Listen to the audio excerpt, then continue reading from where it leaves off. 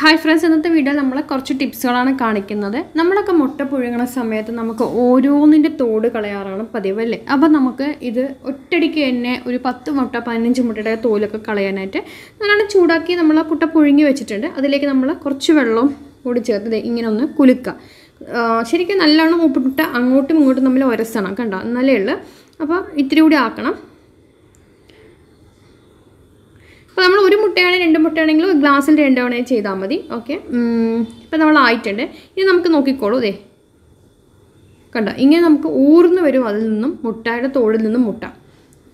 അടുത്ത് കാണിച്ചു തരാം. ഇതേ മുട്ട തോടുണ്ട്.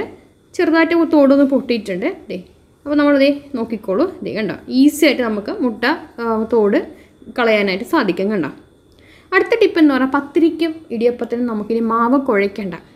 അതായത് നമ്മൾ മാവ് കുഴയ്ക്കാതെ തന്നെ നമുക്ക് ചെയ്യാൻ പറ്റുന്നതാണ്. അപ്പോൾ രണ്ട് ഗ്ലാസ് അരിപ്പൊടി എടുത്തിട്ടുണ്ട്. ഇടിയപ്പപ്പൊടി അല്ലെങ്കിൽ പത്തിരിപ്പൊടി അതിലേക്ക് ഞാൻ രണ്ടര ഗ്ലാസ് വെള്ളമാണ് ഒഴിക്കുന്നത്. രണ്ട് ഗ്ലാസ് പൊടിക്ക് രണ്ടര ഗ്ലാസ് വെള്ളം ഉപ്പ് ആവശ്യത്തിന് ആവശ്യത്തിന് ഉപ്പ് ഒരു സ്പൂൺ വെളി വെളിച്ചെണ്ണയാണ് നമ്മൾ ചേർത്തിട്ട് നന്നായിട്ട് മിക്സ് ചെയ്യാം. രണ്ടര ഗ്ലാസ് വെള്ളം ഒഴിച്ചു. ഇനി ആവശ്യത്തിന് ഉപ്പ്. ഇനി എണ്ണ. എന്നിട്ട് നമുക്കൊരു എന്താ പറയുക വെളിച്ചെണ്ണ ഒരു സ്പൂൺ മതി. ഒരു രീതിയിലും കട്ട പെടാതെ നമ്മളത് ഇളക്കി യോജിപ്പിച്ചെടുക്കുക ഫസ്റ്റ് നമ്മൾ പടുപ്പത്ത് വെച്ചിട്ടില്ല കേട്ടോ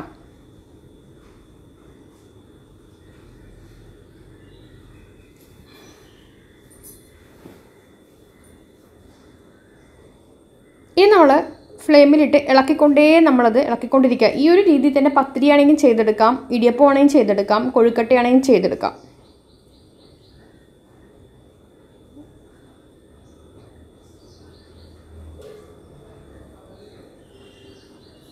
നല്ലോണം ഇളക്കിക്കൊണ്ടിരിക്കുക. നന്നായിട്ട് അടി എല്ലാ വശത്തും നമ്മൾക്ക് ആ ഒരു ചൂട് കിട്ടുന്ന പോലെ ചെയ്യണം.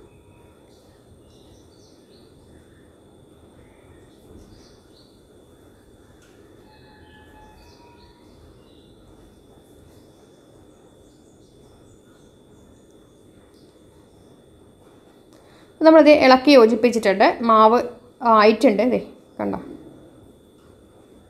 ഒരുപാട് മുറുകി കഴിഞ്ഞാൽ നമ്മൾ സേവനാഴിയിൽ ഇടുമ്പോൾ നമുക്ക് പോരില്ല. പക്ഷേ പത്തിരിക്ക് കുഴപ്പമില്ല. ഒരുപാടങ്ങ് മുറുകാൻ നിൽക്കരുത് നമ്മുടെ ഇതിൽ നിന്ന് ശരിക്കും വിട്ട് വന്നു തുടങ്ങി കണ്ടോ? അതെ അപ്പോൾ നമുക്ക് ആയിട്ടുണ്ട് ഫ്ലെയിം ഓഫാക്കിയിട്ട് നമ്മളൊരു ഒരു ബൗളിൽ വേറൊരു പാത്രത്തേക്ക് മാറ്റാം. പിന്നെ നമുക്ക് എപ്പോഴും പ്രശ്നം ഉള്ള പ്രശ്നമാണ് നമ്മൾ ഇടിയപ്പം ഉണ്ടാക്കുമ്പോൾ അത് വേറെ നമ്മളുടെ ആ മേലത്തേക്കും കൂടി കയറി വരും. ആ സേവനാടിയുടെ മേലെ ആ പ്രസ് ചെയ്യണ അതിലേക്ക് കയറി വരും. അങ്ങനെ വരാതിരിക്കാനായിട്ട് വേറൊരു കാര്യം ചെയ്യുക. നമ്മൾ സാധാരണ രീതിയിൽ ചെയ്യുന്ന പോലെ ഇടിയപ്പത്തിന്റെ സേവനാഴിയിലേക്ക് നമ്മൾ ഇത് ഇട്ട് കൊടുത്തു. ശേഷം അതിന്റെ മേലെ വേറെ നമ്മുടെ കയ്യിൽ കിട്ടുന്ന വേറെ ചില്ലില്ലേ അതുകൂടി വെച്ച് കൊടുക്കാം. എന്നിട്ട് നമ്മൾ ശ്രദ്ധിച്ചോളൂ. കണ്ടോ? അങ്ങനെ മേളിലേക്ക് കയറി വരാതിരിക്കാനാണ് നമ്മൾ ചെയ്യുന്നത്. എന്നിട്ട് നമുക്ക് ഇത് അങ്ങ് അടച്ചിട്ട് ചെയ്യാം. അങ്ങനെ ചെയ്യുമ്പോൾ എന്താണ് ഇത് മുകളിലേക്ക് കയറി വരില്ല. മറ്റത് ഇങ്ങനെ മുകളിലേക്ക് അത് കയറി വരും. അതുകൊണ്ടാണ്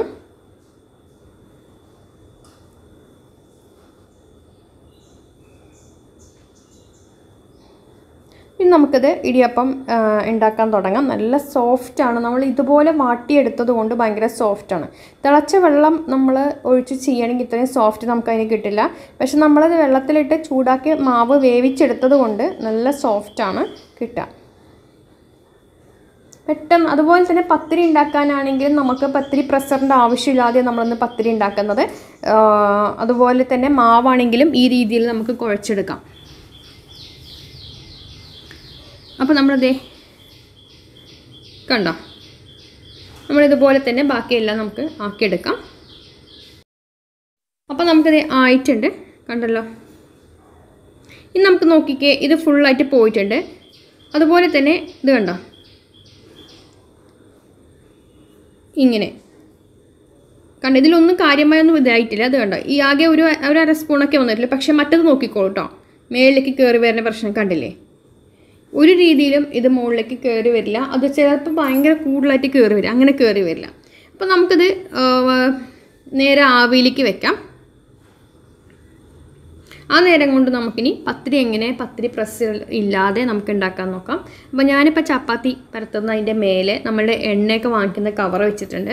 എന്നിട്ട് നമ്മുടെ ഈ സെയിം മാവന്നെ സെയിം മാവന്നെ നമ്മൾ എടുത്തിരിക്കുന്നത്. ഇതൊന്ന് റൗണ്ട് പിടിച്ച ശേഷം നമുക്ക് ഇങ്ങനത്തെ രണ്ടെണ്ണം വേണം കേട്ടോ അല്ലെങ്കിൽ പറ്റൂല. അത് നമുക്ക് അല്ലെങ്കിൽ നമ്മുടെ ആശ്രമം ആട്ടയൊക്കെ മേടിക്കില്ല? ആശ്രവാദ പിൽസ്ബറൊക്കെ അതിന്റെ പൊടി അതിന്റെ കവറാണെങ്കിൽ നമുക്ക് മതി.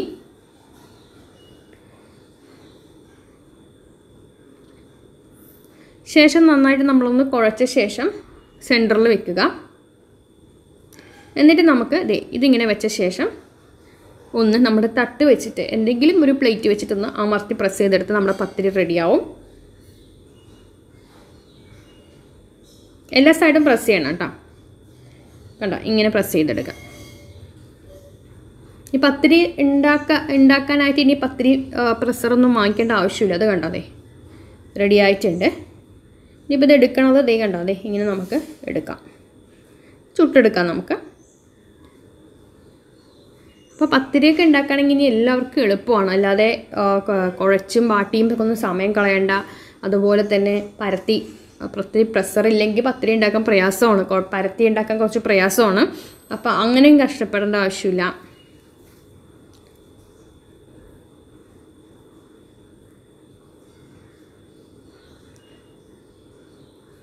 അപ്പോൾ അതേ ഇതായി വന്നിട്ടുണ്ട്. നമുക്ക് അടുത്തതും ഇതുപോലെ ഒന്ന് ചെയ്തെടുത്ത് കാണിച്ചു തരാം അപ്പോൾ ഇന്ന് നമ്മൾ കുറേ ടിപ്സുകളാണ് കാണിച്ചത്. ഇടിയപ്പവും പത്തിരി ഉണ്ടാക്കാനായിട്ട് മാവ് എങ്ങനെ ഇതാക്കാം എന്നുള്ളതും അതുപോലെ തന്നെ നമ്മൾ പത്തിരി പ്രഷർ ഇല്ലാതെ പത്തിരി പ്രസ് ചെയ്യുന്നതും ഇടിയപ്പത്തിന്റെ സേവനാഴിയിലെ മേലേക്ക് മാവ് കയറി വരാതിരിക്കാനുള്ള ടിപ്പ് മുട്ട പെട്ടെന്ന് പൊട്ടിച്ചുള്ള ടിപ്പാണ് കാണുന്നത് അപ്പോൾ നമ്മൾ ഇത് ഇടിയപ്പം ആയിട്ടുണ്ട് കണ്ടോ നല്ല സോഫ്റ്റാണ്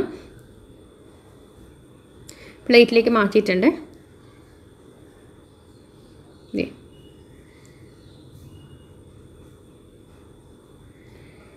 അതുപോലെ തന്നെ പത്തിരി നല്ല സോഫ്റ്റ് ആണ് അത് കണ്ടോ അതെ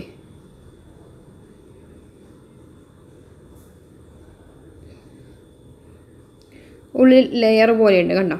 അപ്പോൾ എന്തായാലും നിങ്ങളിതൊന്ന് തന്നെ ചെയ്ത് നോക്കണേ ഈ ടിപ്സുകളെല്ലാം അടുത്ത വീഡിയോ ആയിട്ട് വരാം. വളരെ സോഫ്റ്റ് ആയിട്ടുള്ള പത്തരി മീഡിയ അപ്പോൾ റെഡിയായി താങ്ക്